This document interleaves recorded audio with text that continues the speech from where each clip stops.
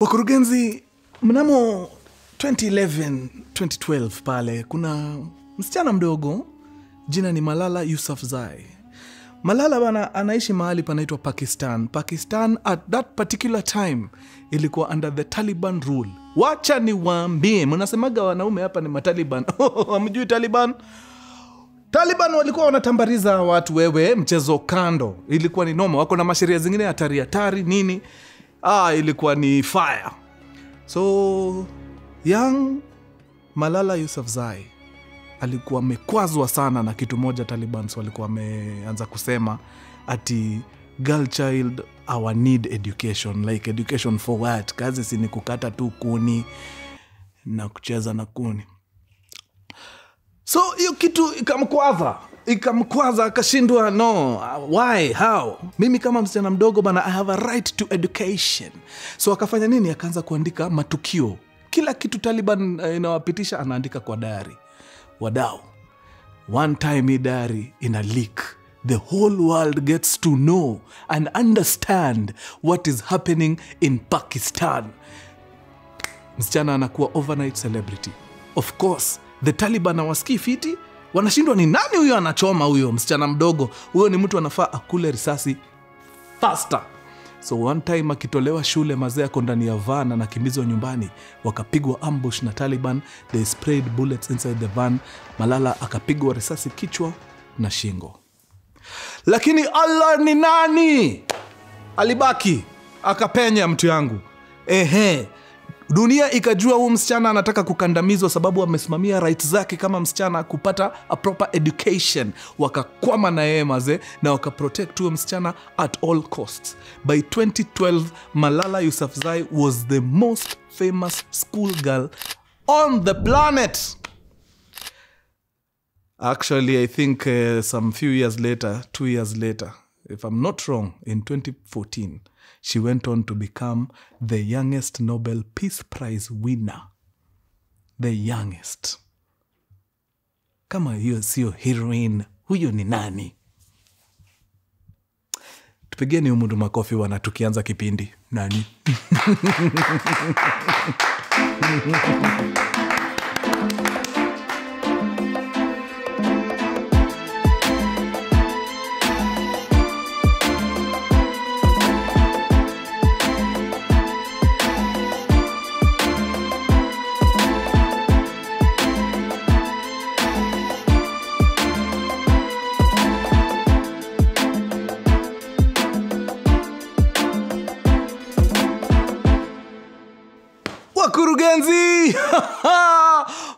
mamen season 1 episode 4 high on heroines. Na ukiniona to you just now it's another one by the ladies.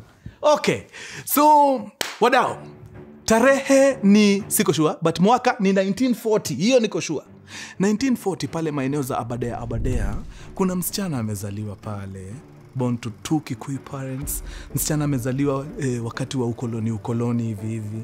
Bado akuja development haijaingia sana unajua ni pre-independence pale but uh, tuko katika hiyo harakati ya kujenga jenga nini nini. So by the time alikuwa anazaliwa bado a lot of this natural forests zilikuwa zilikuwa ziko area. In fact alianza tu kupata you know a, a soft spot for conservation for just nature at a very young age so la, anakumbuka akitumwa tumwa hata stori za mafirewood anaambiwa ni aje okota firewood kwa forest lakini pale kwa mugumu tree hiyo wachana nayo usiokote kuni hapo.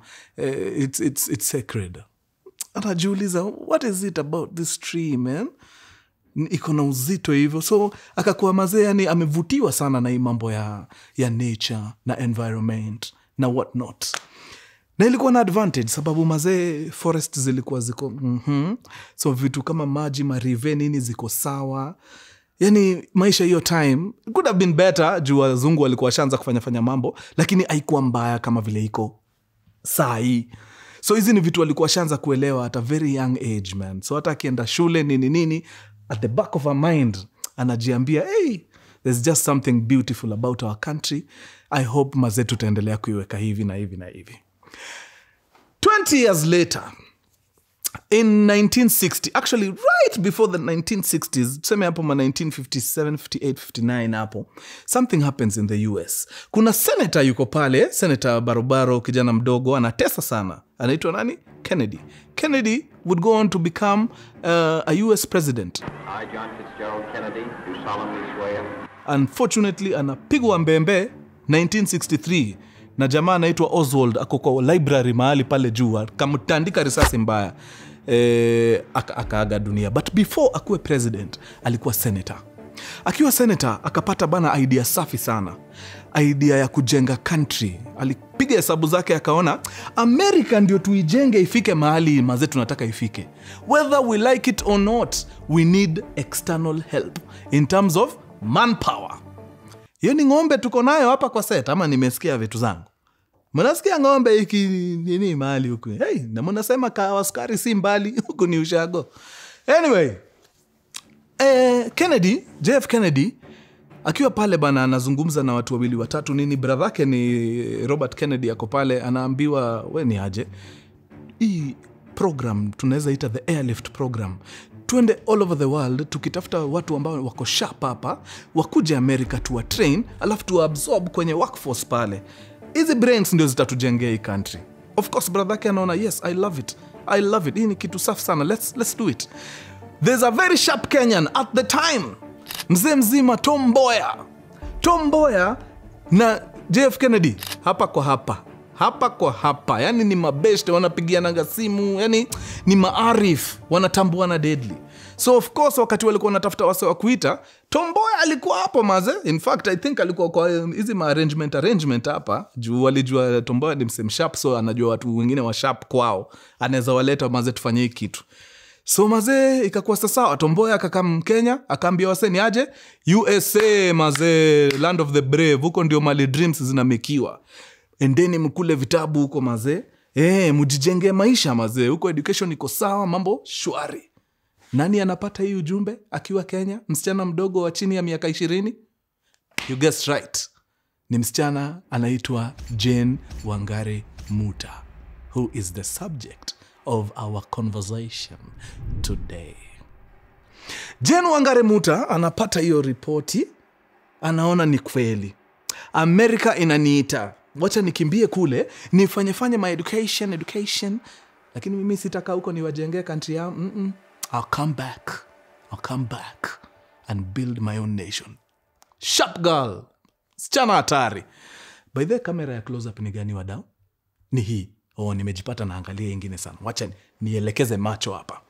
So jen muta eh, 1960 Phew! Anapanda ndege yake baridi anaingia mpaka us of a. Na hapa ndio mtihani wangu wa kwanza. Yes Steve? oh, uko sawa. Hapa ndio mtihani yangu ya kwanza kwenu inakuja.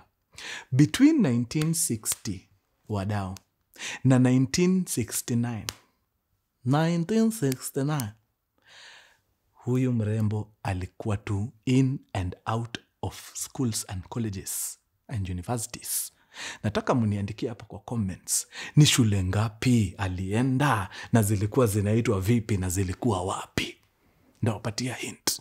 America of course sababu the airlift program ilikuwa ni ya states.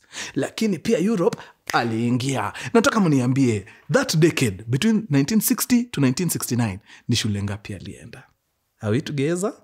Very nice so as nyinyi mnanifanyia hiyo assignment nataka niwarudishe nyuma kidogo. Toka 1969 rudi hapa 1967 1967 ashamaliza ile digri degree alikuwa ameenda kufanya america ya 4 years 1960 i think to 63 ama 64 ameenda ameingia ka degree kengine ka masters. Amefanya ka masters ka two years ashamaliza around 1966 1967 akakutana na barobaro. Kijana mazee ako pale anajiita mr madhai mr akaona mazee Could this fine chick man melanin popping. yo let me holla at you real quick. Wangare Maathai, box! Oh hiyo time ni Jane wangare muta. Akaingizwa box na mr madhai pale. Jina ikabadilika officially to jane wangare madhai jane not so much. Wangare madhai it was. Alright so wakaendelea vizuri. E, kumbuka hii ni ile decade ya, ya mashule. So hata vile wamekutana hapa 1967 bado wangare anaendelea kufanya mamambo zake huko za maenvironment nini nini nini nini. But in 1969 mrembo akaamua its time to go back home. Let's go home. So 1969 akaingia wapi? Nairobi kenya. Pale nairobi kenya akaingia university of nairobi for her first job. Alikuwa i think ni professor pale. Alikuwa lecturer eh? I think so. So from around 70 71 mpaka 70 something huko 6 if i'm not wrong. So wakati wangari madhai anapiga mambo yake hapa ya lecturing na nini na nini anafundisha wanafunzi akadiscover kuna discrepancy. Kuna vitu ambavyo vinafanyika ambavyo haviko sawa. Kuna mambo ambayo si legit lazima tuziadres aligundua nini huyu mrembo? Anagundua even though mimi na my male counterparts sisi ni lecturers tunafanya the same wa- hours working in the same environment same working conditions. My male counterparts are being paid more than my female friends are making and myself included. Why? Why? Why? Akasema hata nyamaza sitasimama maovu ya kitawala. Akakuta administration akawauliza wait a minute wait a minute hold up. So mtaka kuniambia mr nanis wakiingia pale daro wanalipwa x amount. Sisi the miss nanis tukiingia daro tunalipwa x minus y amount. Why? Mbona iko hivyo? Why? We don't get it. Hawa wanaume wakiingia kufundisha wanatumia sauti zao. Sisi tukiingia kufundisha tunaletaga recording ya dj afro. No? Sini sauti zetu tunatumia why are we earning less? Asante sana. hapo ndio activism ya wangare madhai ilianzia. Akapiga kelele sana. Na i think she succeeded. Siko sure? Mnaweza niambia. But i suspect alisucceed equal pay for everyone. Sababu kila mtu analeta kitu kwa meza. Hakuna hiyo mambo yatiwe sababu wewe unapiganga matrao una no no no no. No no no so hii kitu activism inakuanga is not for the faint hearted hii kitu lazima ukuwe wewe ni mtu uko na ugumu fulani. Wewe ni mtu umejiamini kuruka. But kumbuka these are very conservative times. Hizi wakati tunaishi ni ma 1970s mahali ambapo wanawake mm, we don't want to hear you. We just want to see you around. Tuwaone tu tusiwasikie. Mm. Na pia tukichoka kuwaona tunawasukuma jikoni mwende mupike nini. Hatutaki mambo yenu unless tunawataka karibu na sisi ya so mwanamke anajitokeza kupiga kelele ati oh, ha, hey, ah, ah. unakuja sana. Ah, alifikiria hizi vita zitatoka nje. Hmm. makosa ni yake. Vita ilitoka from within. The husband akajiita mkutano akajiuliza nitawezana na huyu gaidi kweli? Hmm. haiwezi. Huyu atanipiga kwa nyumba siku moja huyu. Ai mtu anasimamiana huko na watu kwa univers- ni mtu nita ah, no no no no this one must go. Aende sana. So ikatokea story hapo ati wangari madhai amekuwa na relations na another member of parliament. By the way i forgot to tell you. Huyu mjamaa bwana madhai alikuja akachaguliwa member of parliament for langata. Stori ikatokelezea kumbe wangari madhai waga anachotangwa na mjamaa fulani pia wa parliament. Wako na affairs. Ikabidi sasa hii divorce lazima ipangwe. So 1977 madhai na mrembo wake e, wangare wakapiga separation. By 1979 divorce ilikuwa inatandikwa proper. Ule judge ile evidence hafifu hafifu alikuwa amepatiwa na bwana madhai mp ya kwamba wangare ako na affair na another politician. Imagine akaikubali na open arms. Like ni vitu unaona hazina mwelekeo lakini huu judge ako box mbaya. Ya ya huyu anakaa ni mtu anaweza lamba mp you see? Kidogo kidogo divorce ikakuwa granted. Wangare madhai is not one to mince her words. Akasema mahali kwa press ya kwamba vitu ni mbili. Eidha huyu judge hajui kazi ni mtu bure. Hakuna kitu hapa. Hii ni ndengo imejaa hapa. Ama ni corrupt. Amelambishwa. One of those two. Na tusibishane. Oh, judge kusikia wangare madhai amesema mimi sijui kazi na mimi ni mwizi. Umeniita corrupt. Utafurahia. Akakuwa held in contempt of court. Na koti ikampata na hatia na akarushwa langata women prison. For how long six months. Kaambiwa enda cool hills huko mtu yangu uko na kierere taka tukupatie maragwe huko na mchele haijaiva ndio utambue hii nairobi iko na wenyewe. Ingia huko ndani. Fortunately for eh, wangare madhae lawyers alikuwa anacheza nao pia si, si, si lawyers hivi hivi. Ukikutana na lawyer anakupiga macho design hii. Anakuambia kama uko na shida umuite umuite umuite akona okay. Hiyo joke nimeikarabati kutoka last month. Sikujua mutaireceive coldly hivi. Anyway paul mwite alikuwa loya wake. Hata nikipigapiga darubini zangu kwa madocumentaries hapo naona kulikuwa na arifu wake hapo karibu anaitwa orengo james. Ukiwa na paul mwite na orengo orengo alete kizungu paul alete macho. Mutashinda hiyo kesi kweli? Aje aje. Of course akukaa langata miezi sita. After three days alikuwa ashaachiliwa days hata kunguni za langata hazija kuuma bado out. Enda fanya mambo yako. But of course, of course kazi ya university imeisha. Unajua ukishaingia jela mazile watu wana move on. Mbaya. Sasa ni wewe ujipange ujipange. So she did a lot of things hapa. Alikuwa anajiunga na maorganization hapa na pale. I will not bore you with hizo. Hizo nyinyi endeni mfanye nini? Mkule research muone ni maorganizations gani yaliingia. nataka tu niwapeleke pale nyuma pale kwenye conservation. Mahali akiwa msichana mdogo alikuwa amesema hey, mazee naweza taka ku, kufanya mawantu mawantu hapa mazee. Hii environment nini yetu inakaa fit environment yetu inakaa poa. Naweza penda tu mazee tu protect kitu. But remember hii time yote amekuwa nje for a whole decade. Vitu zina happen tu. Miti zinakatwa. In fact hata before she went to the states for further studies wazungu during the colonial times in the 50s walianza maze kukata hizo mafore. Unajua wazungu walikama hapa wakapata mamiti fulani indigenous wazielewi wanashindwa hii nini what is this? Tame the forests. Kata miti choma ma, misitu dead. Mlikuwa mnamkatu asubuhi mnaona moshi huko mazee mnajua hiyo ni msitu, msitu inakuwa cleared. Ndio mlami aende atengeneze kasoli yake pale e, asemage ye anaishingi tu kwa bush peke yake eh, like the rich kid. The uh, kumbe mazee ajui anaharibu misitu bana na inaenda kutu affect as a continent. So after hii mambo imeisha nairobi amepelekwa mpaka kotini ameingizwa ndani nini akarudi mashinani. Akadiscover ile deforestation, deforestation inaendelea vibaya tena sana. Imefika mahali imeanza sasa kuaffect watu. Rivers zinaanza kukauka maji haipatikani ni msichana aligroia badea ranges mazee unajua huko slash green kila kitu mazee maji riveni yani sahii anasikia wamama wana struggle kupata maji ya kunywa wacha hata ya kuosha vitu. Ah, no akasema hapana. Hapana. So towards the late 70s hapo 1977 eh, akafom green belt movement ah, in fact actually nimechanganya hizi story. 1977 ilikuwa before afungwe. So meaning alikuwa shaanza kunotice hizi vitu za deforestation zinafanyia zinatufanya mbaya before hata ende jela. So alikuwa sha eh, register nini?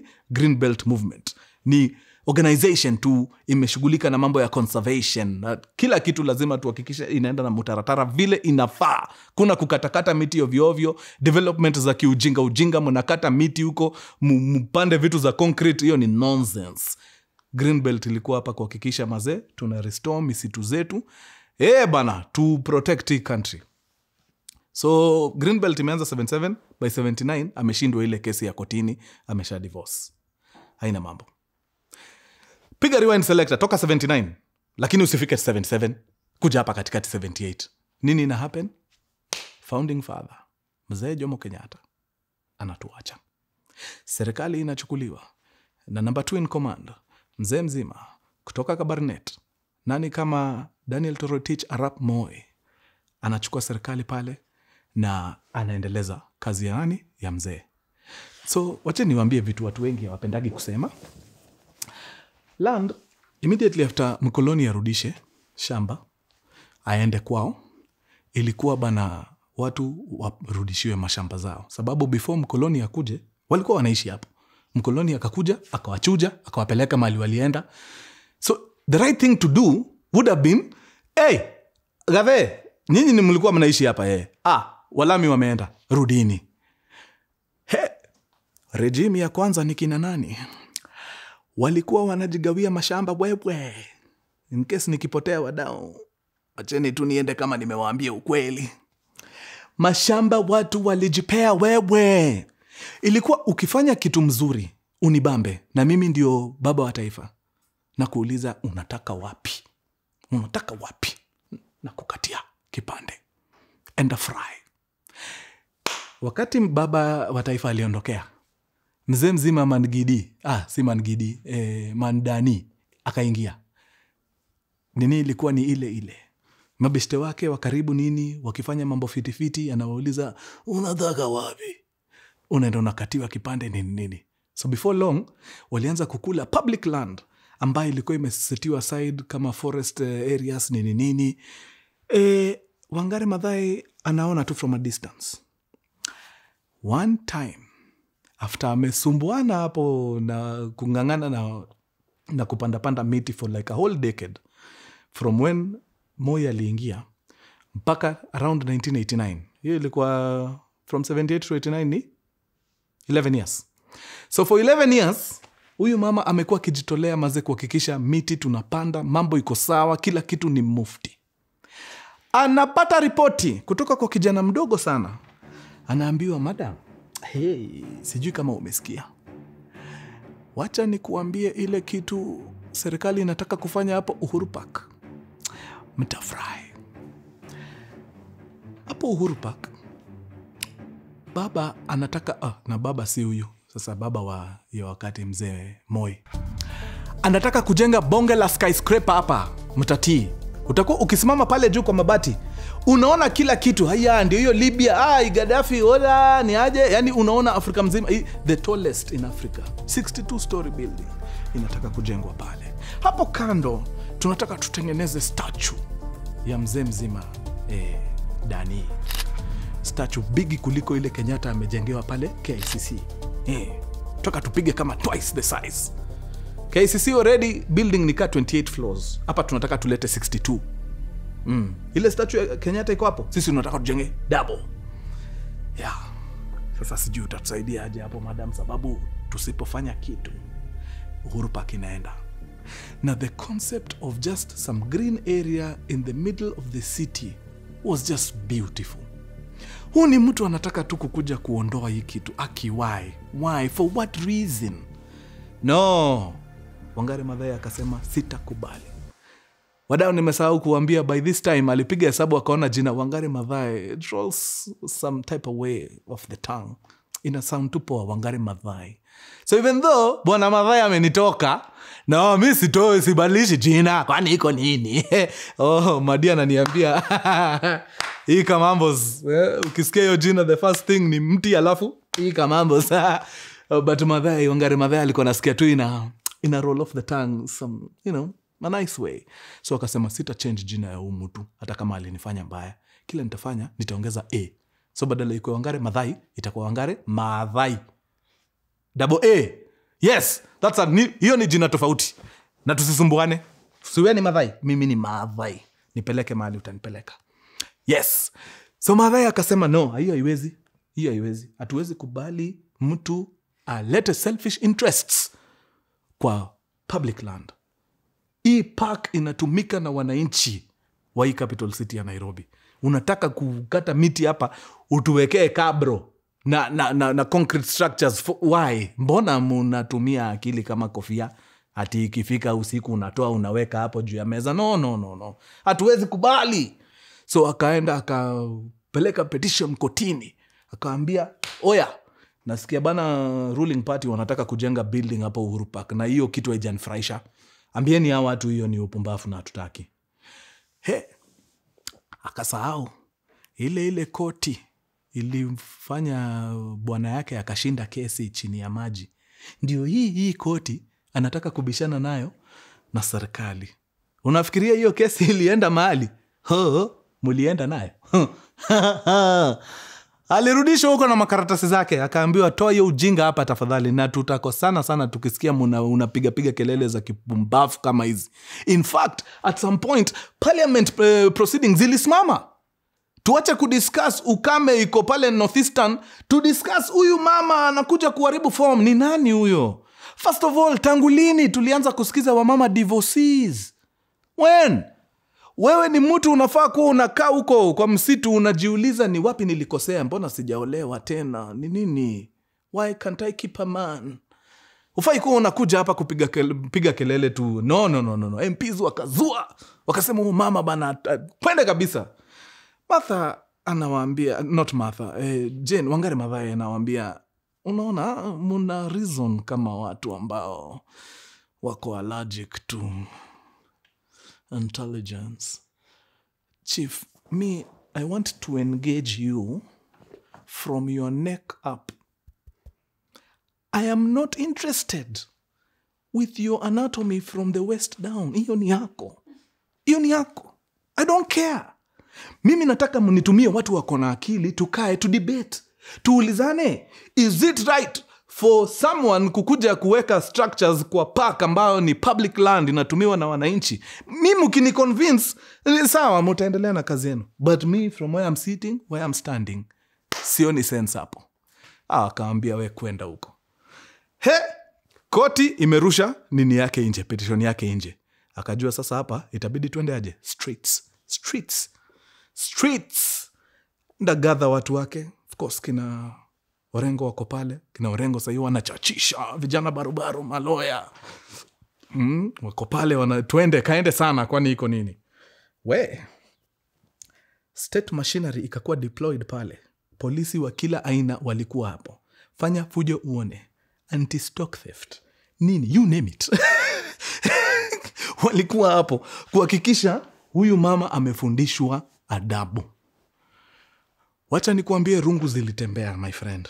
Watu walitandikwa propa, lakini wangare mavai na kikosi yake they were relentless. Is that the word? Relentless. Kweli? Yes. Mm. sti hapa profesa wa kizungu amenod. Ametii relentless. Yes. Hakuna hatutoki hapa so eventually juu ilianza kuattract mpaka international attention. Gava ikaona you know what, oh, madhe anachoma. Wachanayo wachanayo tatafuta building. In fact kabla nianze story salimu ameniuliza swali very important. Kwa nini specifically uhuru park? Why? Na upper hill at the time haina kitu. Iko tu is empty its bare. Apparently ni kwa sababu serikali ilitaka kutengeneza hapo uhuru park mahali hiyo statue ya mzee inaweza ona ile statue ya yule mzee mwingine. But juu statue ya huyu mzee itakuwa kubwa kuliko statue ya yule mzee mwingine atakuwa ame assert some type of dominance kuonyesha hata kama mimi si mwanzilishi wa taifa mimi ndio kusema. E, mimi ndio baba. Ala kwani iko nini? Ha, anyway ikakuwa ndio hivyo mwangari akaendelea na mambo yake kama kawaida until another decade ikapita. Hapa tulikuwa 1989 tukipigania uhuru paka kuja 1999 wangare amechachisha hii country. Anapanda miti kila mahali. Yani amepanda karibu apande miti mpaka kwa lami. Yani weare planting trees man. Tupande miti. Akiwa amechill tu siku moja mazee kuna mzungu anafanya horse riding pale karura forest. Anapiga kona moja hivi hapo karura anashangaa wait a minute. Kwa katikati ya miti earth movers zinafanya nini? Kwa katikati ya miti mawe zimemwagwa kwa nini? Simu quick fast. Halo wangari madhai he umetembea karura? Hmm. Sijui ni nani huyo alikuja na mbegu zenye ukipanda zinamea trakta. Sababu haki naona kuna athmuva imemea hapa kwa hii forest na sijui ni nani. Na kuna mwingine alikuja na mbegu akapanda zikamea mawe. Juu kuna mawe imemwagwa hapa kwa forest. Unaweza kuwa uko na hii information? Ah, wangari anashindwa. Karura ndani. E, e, karura ndani kuna watu wanajenga karura nani ongare madhai fanya research quick fast. Jaribu ku ascertain what exactly is happening. Gundua serikali imepatia mtu eh, private developer permission enda jenga housing units hapo karura ndani. Yeah, tutakula msitu polepole kwani iko nini? Kinianzie huko ndani katikati mahali huonekani kwa barabara. By the time watu wanagundua kuna housing unit huko ai nyumba zilishaisha watu washaingia you go do your things. Eh, karura akuba, I mean, madhai akubali. Karura yake ianze kujengwa jengwa mabuilding. Ati sasa si karura ni pipeline. Miti miti miti cloth lines. Pipeline karura haiwezi. No no no no no no no no. Ah, ah. Ah, enda tena kotiko. Hapana kuna vitu zina huko karura. Na najua hata nikiwekelea petition hapa bado mtanifanya mbaya. Hakuna kitu inaendelea huko. Hiyo tumekataa. Rudi nje chukuana na majamaa ingia karura. Waende huko kwanza wameenda mpaka na miti. Wanataka kuongeza miti zingine. E, pata serikali ishalambisha vijana. So hapo karura kando kuna tugetogeto tuko hapo vijana wameshalambishwa hapo masoosoo wameambiwa kuna watu watakuja hapa kusimamisha hizi maconstruction e, dilini nao. Kina mwangare madhai fika karura pata maraya wanawangoja na ika mambos e, mishale marungu o mapanga mawe. Wanaulizwa ehe mnadayaje waakalia hapana. Aki nyinyi ni vijana muwezi kuwa mumekubali forest yetu ifanywe development. Kwani ah, ah, amuoni mazea watu wanaharibu hii kitu? Ah, majama wakadai hapana. We unatetea hii forest kama nani? Hii forest in fact ni yetu. Ni yetu. Ancestors wetu ndio walikuwa wanaishi hapa. Nyinyi sijui we ulizaliwa sijui central. Mm-mm. sisi ndio hapa. Sisi ndio tunafaa kuwa tunalilia hii forest. Na the fact that tumekubali wakuja wajenge inamaanisha tuko sawa. Juu ni kwetu si kwenu ni kwetu wangara anawambia "Ah, chief tangu lini forest ikakuwa kwenu? Forest inakuwaga ni ya serikali? Hiyo ni public land haifai kuguzwa. Haifai kuguzwa sababu hii kantri inategemea misitu. Mnakubali aje misitu bana zikatwe watu wajenge manyumba? Ah, majamaa wakadai ya, sisi tunakubali. E, nyinyi endeni huko kwenu mkatae. Hapa hapa sisi tumekubali. E? kidogo wakadai basi nyinyi basi nyi kubalini wacha wajenge nyumba zao sisi tunapanda miti wanarudi hivi pale kwa gate waanze kupanda panda miti. O vijana washaanza kushapen mapanga. Tumewambia mtoke hapa. O mishale zishaanza kulokiwa sasa kwa maboo. Tumewambia mtoke hapa. E, within seconds all hell breaks loose. Mawe mawe mawe mishale panga. Mawe mishale panga. Within minutes damu tu. Watu wameshikilia vichwa wamekula mawe wangare amepigwa sijui ni panga ya kichwa hapa ana bleed kwa dredi nini like it, was chaotic. Lakini ule mave alisema aki ni weni ni weni lakini ijulikane kwamba nilikufia hizi misitu. Sababu nyinyi amuoni importance ya hii kitu na ni watoto wenu watakuja kubenefit na hii kitu. Akatoka hapo akaingia police station akarekodi statement na akasema najua nyinyi serikali ndio mmetuma hao vijana watupige. Haina mambo akaandika statement yake akamaliza. Badala ya kupiga ile signature ya mzungu akashika pale mahali amekatwa ile damu akaipiga pale kwa karatasi. Signed in blood. Na kufia hii forest. Nipelekeni mahali mtanipeleka. Wacha nikuambie. Maordinare wamebangaiza tu pale. Wanasikiza tu rege wakasikia eh, mazee. Madhe amefanywa mbaya jo amepigwa mapanga huko hivyo karura juu wase wanataka kukula fore na ye adai. Maze wakampiga mbaya sana jo ameenda hata kuripoti. Kumbe gava pia iko ndani ya hii kitu jo gava ndo ina finance a wase wanapigana. Ndio wase wajenge kwa fore. Oh, maordinari wako hapo eh. kwa hivyo kitu madhe ana need ni kikosi. Huu madha ataumia tukiwa hapa. Awa ni maordinari watu tu wamefil uchungu ya wangare madhai wakaamua nayo nayo. Tunaingia vita wacha nikuambie. Kwanza wanafika hivi wanapiga e, nini wakadiscover kumbe kuna polisi kaiko hapo inapatia vijana instructions. Mkiona watu hapa mskubali muwapige nini. Wakajua okay kumbe gava iko ndani by the ukweli si rumors. Juu ile ni poliska makarao wanaongea na ama youth wakiwapatia patia tu vitu hapo wakiwapatia ma instructions. Oh, okay. Okay. So mnacheza na mayutman mtajua hata si ni mayutman majamaa walienda wakajigadha wakarudi yani chini ya maji wakati wasea wako guards ziko chini wasi wamerelax. Wacha nikwambie ule contractor alipatiwa kazi ya kutengeneza vitu huko karura ndani alifurahia. Vijana wakaamua sasa hivyo ndio hawa sasa wameamua serikali inacheza na mayut eh? sawa.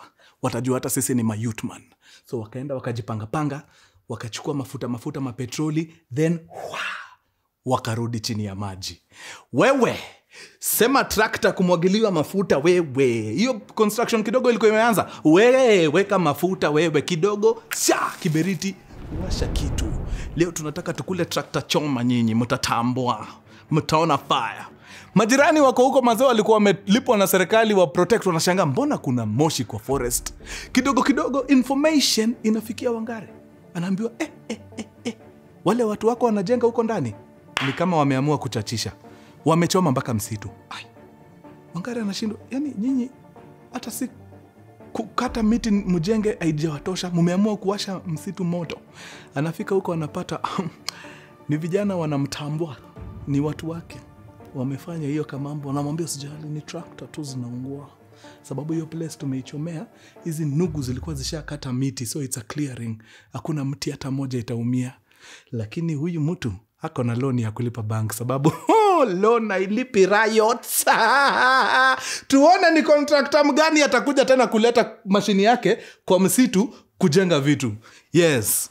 Madam wewe nakwambia tutakushika mkono utatii wewe. Eh, eh. wacha tuone next cause of action.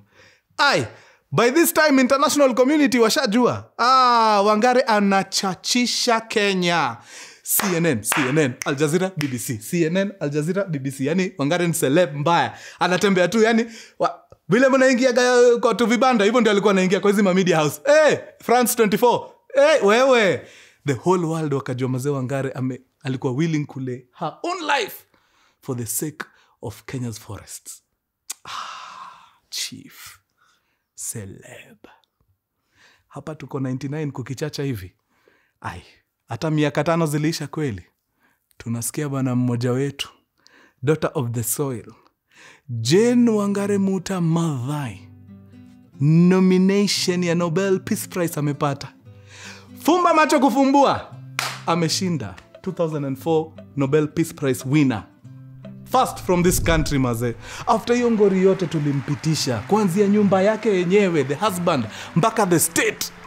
But alikwama mm. resilience watagwan nakwambia hii forest mut, hii mutaipenda whether you like it or not. Yes. Akapigwa nobel peace prize yake baridi and the whole world mazee ilitambua one wangare madhai fortunately or unfortunately watu wazuri ni watu wanatamaniwa mpaka na mungu.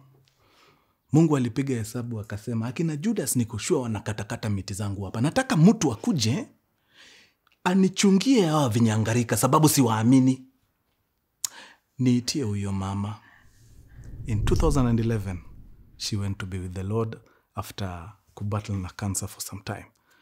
But even in her absence her presence still lingers around us. Sababu kila wakati ukidrive pale wangare madhai road ukiangalia on your right hiyo msitu yote unaiona na unaienjoy sababu ya damu sweat and tears za one jane wangare mavai tukinyima huu mama makofi tutakuwa tunakosea. Hiyo hiyo ah, ah, ah, ah. hiyo tutakuwa tumekosea. Yes tunaona eh, kuna watu wanafuata nyayo zake salimu. Umeniambia anaitwa nani? Anita soina. Ni soina spikes eh?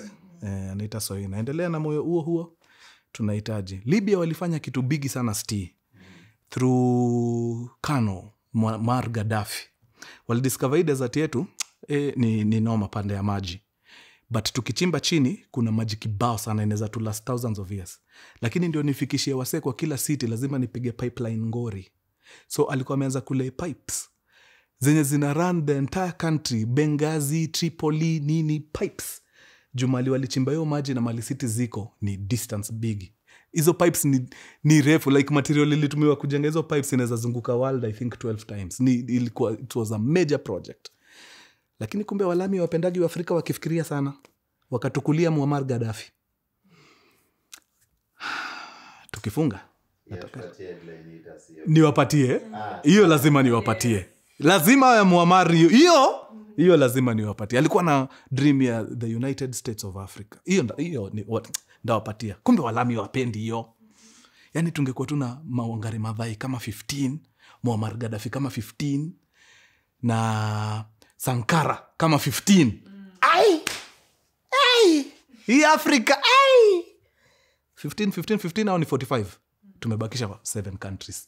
Wangapi? Nani wa saba? Nani wa saba abel mtu wa saba yes. Yes. Abel mtu wa saba au ni 52 oh lord. Ah, wange wangefurahi ah, wangefurahi wangeona faya wakoloni. Anyway wadau wacheni nifungie hapo. Nimefurahi sana. Imekuwa story hatari sana. Kenyan stories zinafanyaga na bubujikwa na jins ya itabidi tuzitafute kadhaa. Au sio next week nitawapigia headline hitters ya ndege fulani ilipotea huko pande ya luanda iko wapi?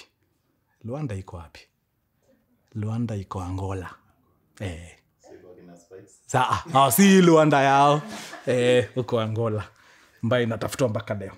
Eh, but uh, otherwise before then tuendelee kulipa matikiti pale tuingie nakuru tufry tusikie mastories kemkem murwa murwa au sio? Na mach pia zitembee men sasa na watambua sana wadau its been real. Adios muchachos. Peace! Any guy. Hey. Subscribe. Na mkumbuke kusubscribe wewe. Haki naona tumekaa hapo sana. Hapo kwa 240s ama ni 50s 40s ai tumekaa. Bofieni hiyo kitu. Yeah, kungeni.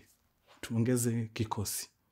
Au sio na kama kawa kama dawa kama imekushika mahali na unasikia yani kuna senti zinakusumbua who am I to, receive, to refuse? Fa, fanya kama wewe. Yeah, cheza kama wewe hapa mazee watu wafurahi. Wasikie sawa sawa. Tuona nini? Thank you. Yeni.